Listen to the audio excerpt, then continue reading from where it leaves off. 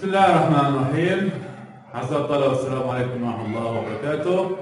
نستكمل مشوارنا في موضوع مواضيع محاسبة البنوك واليوم مع بعضنا في الوحدة السادسة والمتعلقة بحسابات القروض.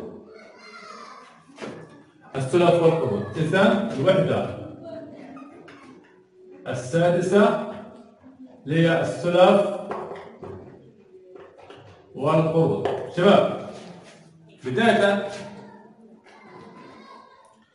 موضوع السلف والقروض شباب البنك يحصل على أموال في صورة ودائع. يعني البنك لولا الودائع كان كان زمان اغلق أبوابه وانتهى البنك. ليه؟ لأنه راس ماله لا يستطيع الإخراج، لأن راس ماله لا يمثل إلا نسبة ضعيفة جدا. قد تكون 5% من أموال البنك في صورة إيش؟ راس مال. والباقي 90% أو 95% هي عبارة عن ودائع يقوم البنك بالحصول عليها من من العملاء والتصرف فيها واستخدامها في أنشطته المختلفة منها إيش؟ إذا هنا منها إيش؟ القروض. إذا مصدر الأموال هي الودائع. استخدامات الأموال هي السلف والقروض.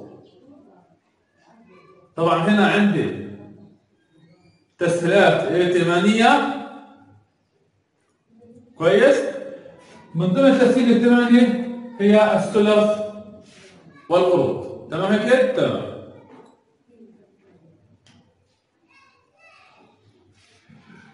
فالقرض هو أحد أنواع السلف أنواع. أحد عناصر التسهيلات الائتمانية إذا قلنا التسهيلات الائتمانية فتفهم لوحدك إنه القروض أحد أنواع التسهيلات الائتمانية إذا التسهيلات الائتمانية. تعال نحللها فيها كلمتين تسهيل الحصول على الأموال. هذا الت... تسهيل يعني قصده تسهيل عملية الحصول على أموال أو خدمة أو أي شيء. تمام؟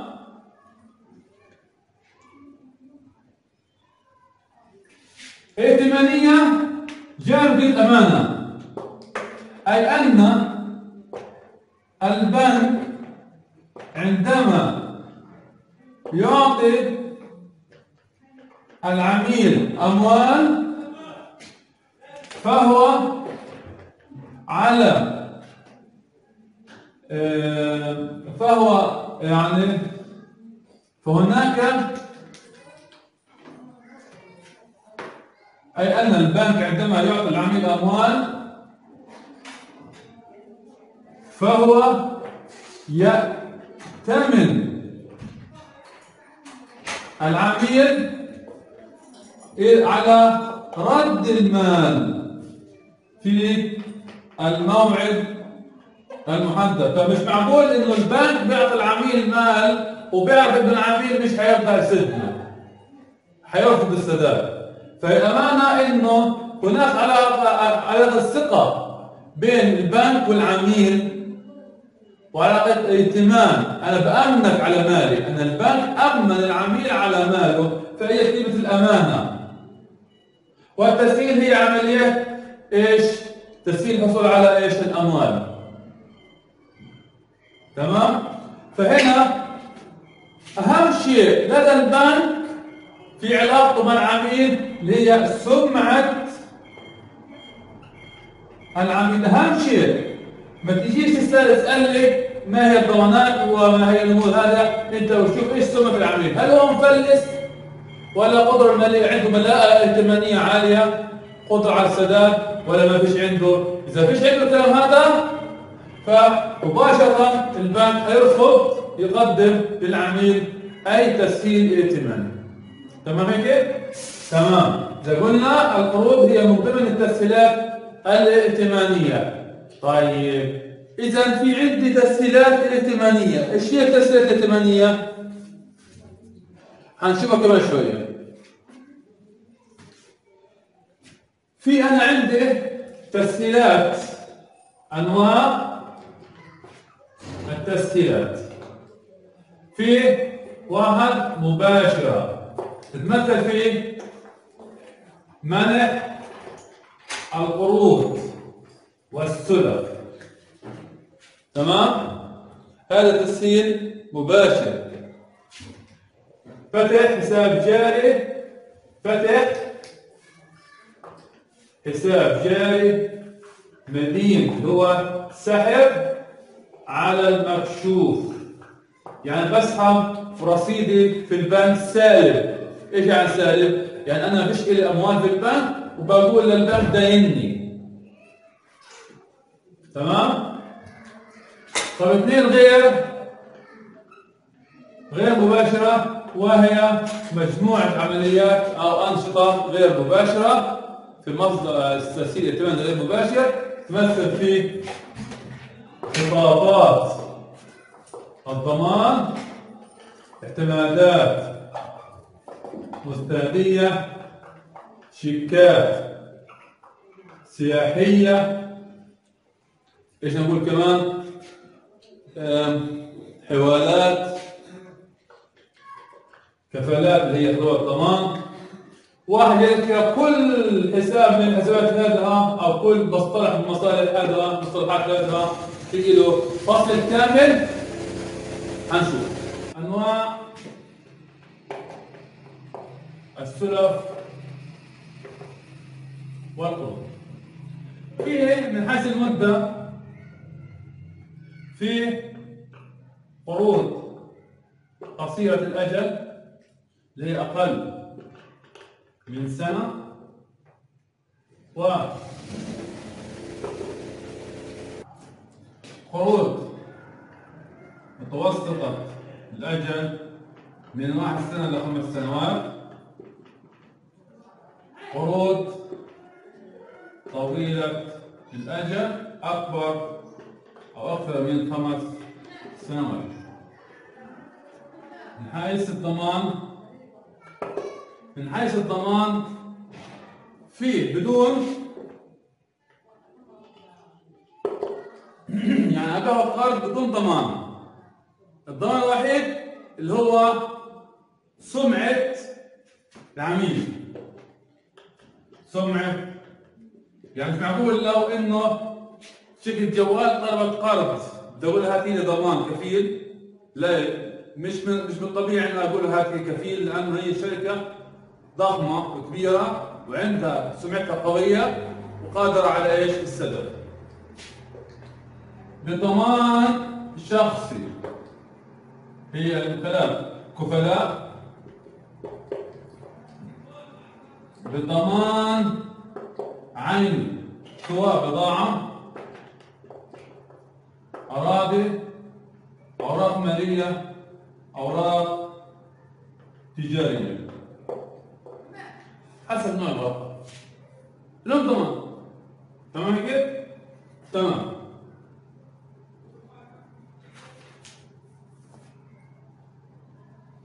الغاية منها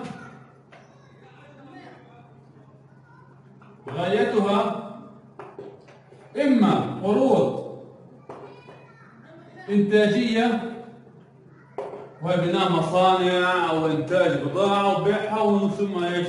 سداد الأقساط القرض. قروض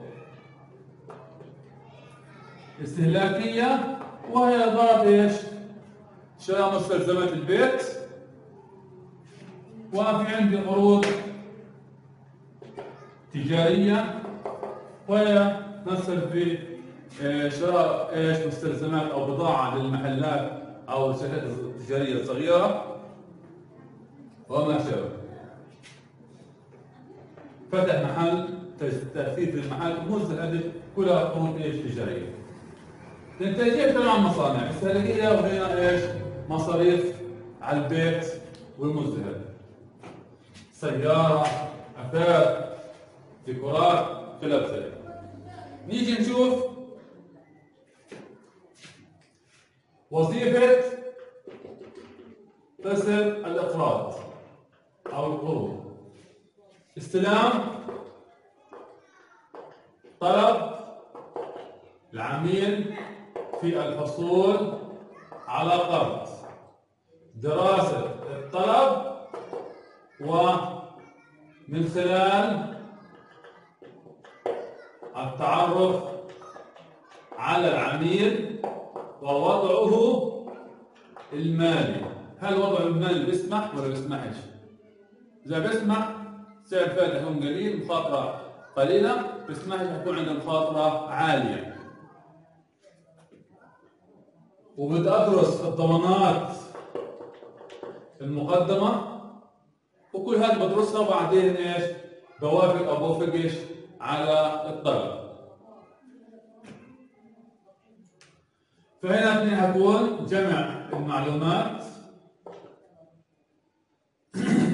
من سلطة النقد. بخاف إنه يكون ماخذ قروض من بنوك أخرى أو كافل ناس ومش حيتمكن من السداد فبعمل احتياطي وباخذ استعلام من خلال سلطة النقد. وضع العميل هل عنده قروض وما عنده شيء؟ وبعدين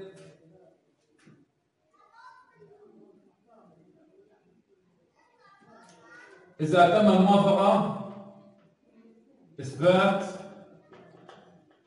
العمليات بدفاتر القسم ثم أربع تنظيم المستندات ذات العلاقة خمسة تسجيل العملية في دفتر اليومية العامة. طبعا أربعة.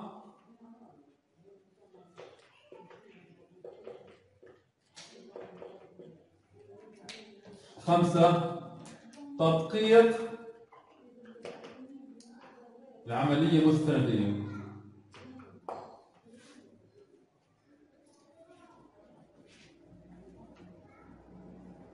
طبعا هنا صرف قيمة القرض بعد صرف إذا أول حاجة بستلم بستلم الطلب بدرسه بجمع معلومات عنه بجمع معلومات عنه من صوت لو يكون عندي مثلا قروض ثانية وما شابه. لو واحد مثلا بيرجع إلى شركات كثيرة يعني معش معش يوفي آه، ماخذ قروض من بنوك أخرى كافل أشخاص آخرين كل هذا بدرسه. آه، الأمور الإيجابية بروح بصرف قيمه القرض وبثبت بالدفاتر في القسم وبعدين بنظر المستندات ذات العلاقة وبعدين بدققها من خلال؟ من خلال قسم التدقيق ومن ثم إثبات العمليات في قسم الحسابات العامة. تمام هيك؟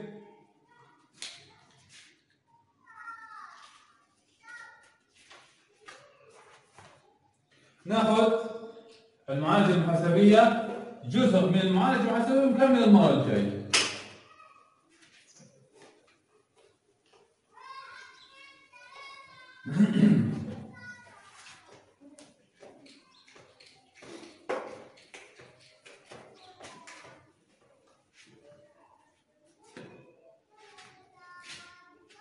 طيب معالجة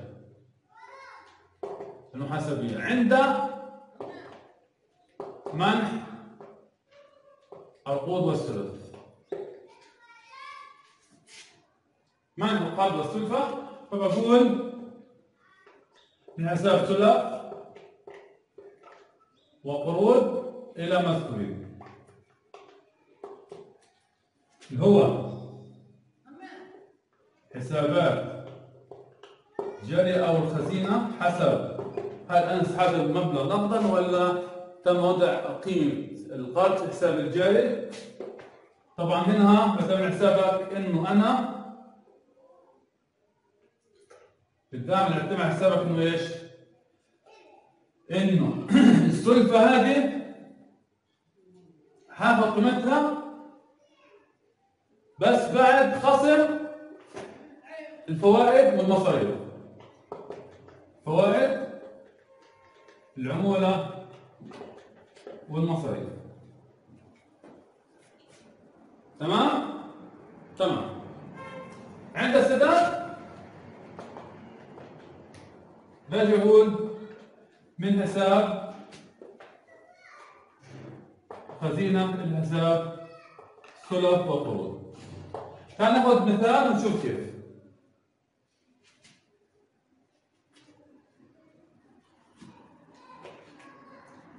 منح البنك العميل قرض بقيمة خمسين ألف. دينار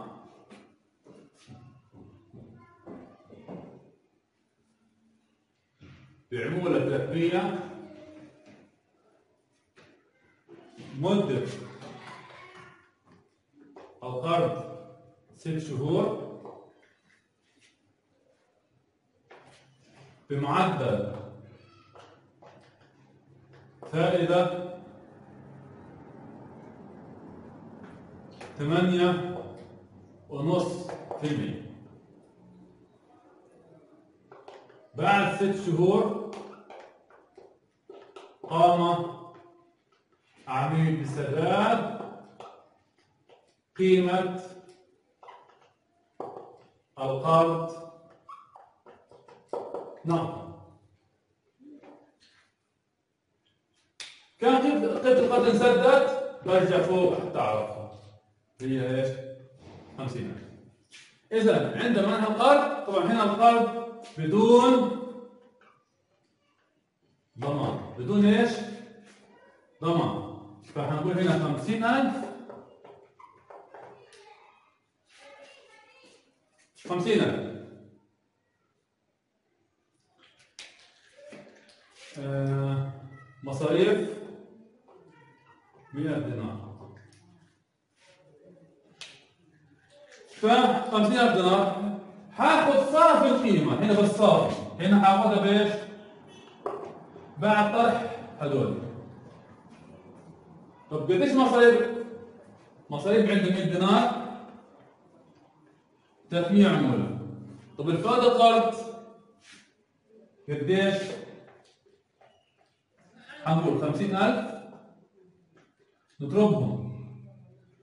في النسبة 8 ونص على 100 ضرب 6 ست شهور علشان الفائدة سنوية يا شباب. فإيش بتكون المدة إيش؟ جزء من السنة أو سنوية. فهنا عشان هيك عشان تجيب ست شهور. يعادل السنة في في معدل الفائدة فبدنا نقول 6 على 12 6 على إيش؟ 12 إيش بيعطيني؟ 2125 طيب إيش بضل عندي؟ إيش بضل لل- للعميل؟ بضل للعميل 47000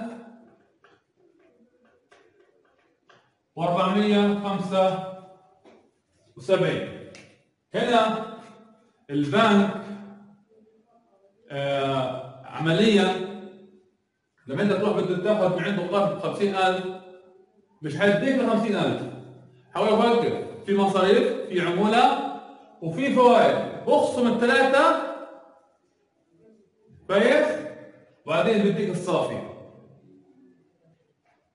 بديك الصافي.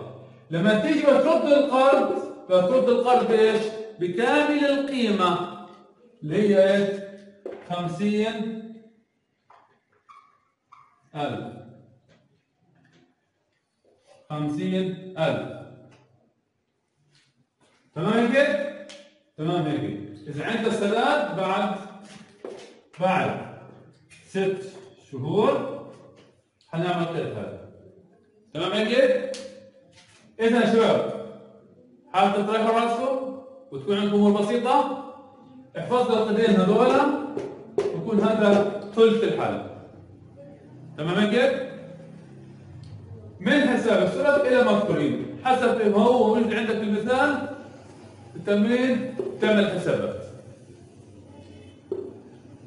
واحد يقول لي يا أستاذ ليش السلف والقروض مدينة؟ شباب.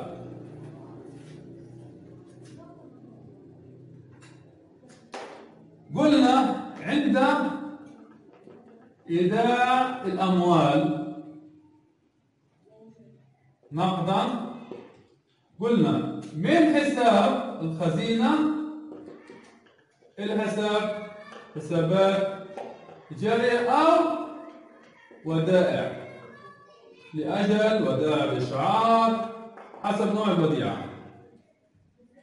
هذا التزام على البنك انه يرد المبلغ للعميل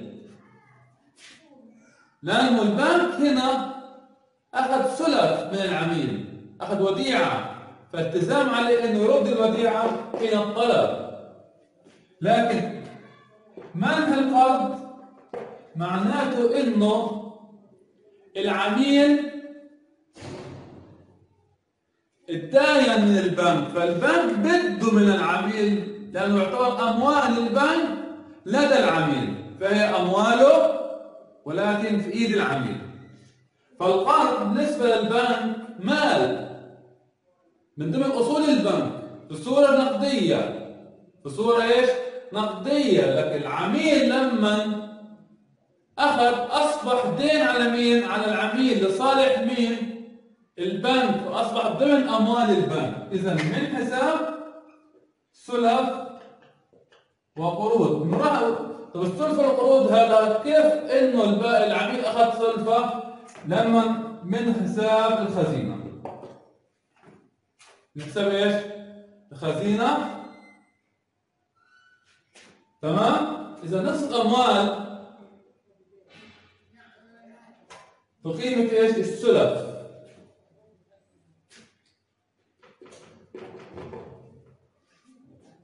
فهنا السلف بالنسبة للبنك ممتلكاته ممتلكات البنك في مع مين؟ مع العمل. يعني خلينا ناخذها بصورة. انت لما تدينت من أبوك أموال كويس فهي دين عليك للوالد. فهي التزامات أنا بحكي عن نفسي كبنك. انت حط نفسك محل البنك. لما أخذ أموال من أطراف أخرى أصبح ملزم إنه يرد يرد للبنك للأطراف هذه. فهي التزام عند البنك. لكن لما البنك عنده أموال وراح أعطاها أو أقرضها للغير فهو فهو حيطالب الغير إنه يا إنه يا عملاء أعطوني مالي. فهو يعتبر مال البنك. نقدا لما منح القرض أصبح إيش؟ قرض صورة قرض أموال إلي عند العملاء في صورة إيش؟ قرض إذا الالتزام لما أنا أخذت أموالي أموال من الوالد كويس؟ أنا ملزم أرد له إياها. كويس؟ وأموالي أنا أصل ممتلكاتي هذا لما أنا أقرضتها لمين؟ للعملاء فأصبح أنا هذه مالي ولكن عند العميل. في اي لحظة حروح أسترد المال هذا من عند العميل فهو أنا أقرض فالقرض بالنسبة لي كبنك اللي هو أموال أو ممتلكات إلي في يد العميل. لكن القرض هذا من وجهه نظر العميل دين عليه. اذا بتفهم أنت تنظر من أي ناحية؟ من ناحية البنك ولا من ناحية إيش؟ العميل. أنت لازم تنظر من ناحية البنك في كل الأحوال.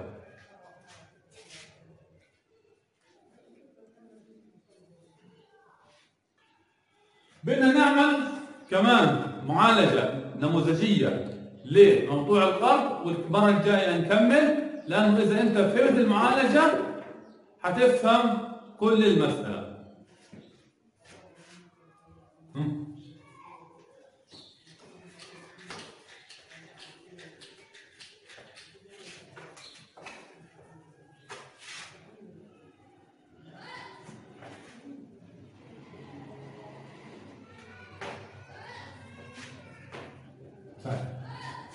شباب الحين أخذنا الدرس السابق أو في المثال السابق قروض بدون ضمانات.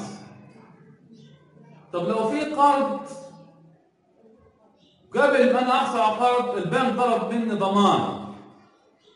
إذا ضمان شخصي فبصير قروض بضمان شخصي. بدون ضمان اسف لو قلنا سلف عقود بدون ضمان حنقول من حساب سلف عقود خلص طب بضمان شخصي معناته بدي أعمل سلف عقود بضمان شخصي. إذا إذا نرجع ثاني ها كمان حتى إيش؟ تشتغل صح؟ إذا أول حاجة منح قروض واحد. قروض بدون ضمان. أقول من حساب سلف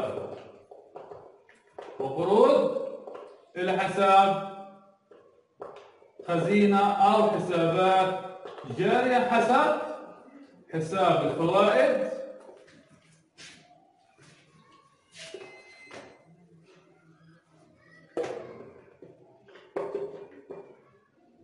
واي حساب آخر؟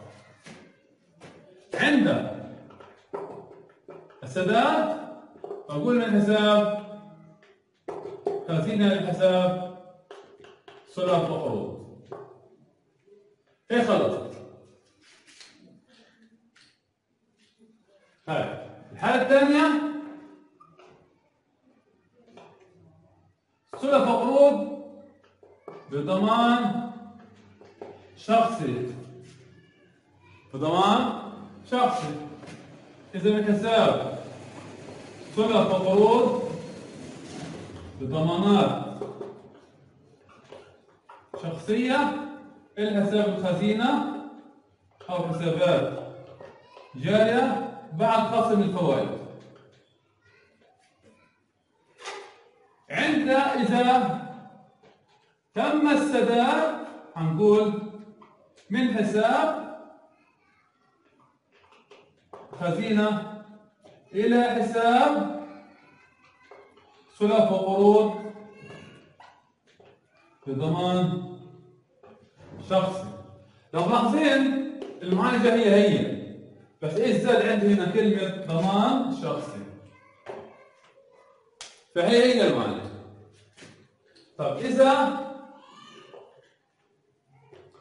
لم يتم السداد أمام البنك الأشخاص الضامنة. فهنقول من حساب الأشخاص الضامنين؟ الحساب سلف وقروض. بعدين أحصل منه من حساب خزينة الحساب الأشخاص الضامنين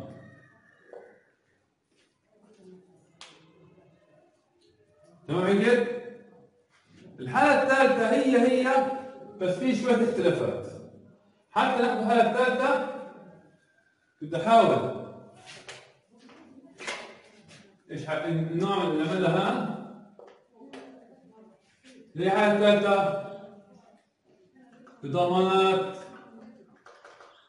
عينية. ضمانات عينية. طلع في ضمان عيني من حنقول حنعمل حاجة اسمها قيد نظامي. إيش يعني قيد نظامي؟ نسبة الرهن. نسبة. انه هناك أصل مرهون لدينا إحنا يا بنك على لصالح قرض العميل تمام؟ تمام. فهنا طبعا هذا القارئ هذا القيد لا يترتب عليه اي أي مطالبات مالية ولكن كمذكرة. إذا حنقول من حساب ضمانات عينيه من حساب زائنا ضمانات ضمانات طبعا هي برسم. التأمين طبعا كلمة ضمانات عينية إذا كانت أوراق مالية بكتب أوراق مالية. إذا كان أوراق تجارية بكتب أوراق تجارية. إذا كان بضاعة بكتب بضاعة. كويس؟ حسب. إلى حساب أصحاب الضمانات العينية. تمام؟ وبعدين بروح بقول آه، منع القرض بقول من حساب سلف وقروض إلى حساب الخزينة إلى حساب الفوائد. عند السداد إذا تمت عملية السداد على أكمل وجه حيكون في عنده قدر. من حساب خزينة إلى حساب سلف وقروض وبعدين إلغاء القيد أنظم اللي هو من حساب أصحاب ضمانات عينية إلى حساب ضمانات عينية رسم التأمين. تمام كيف؟ بده حليب يا شباب. ويلقى يعطيكم العافية ونكمل المحاضرة الجاية.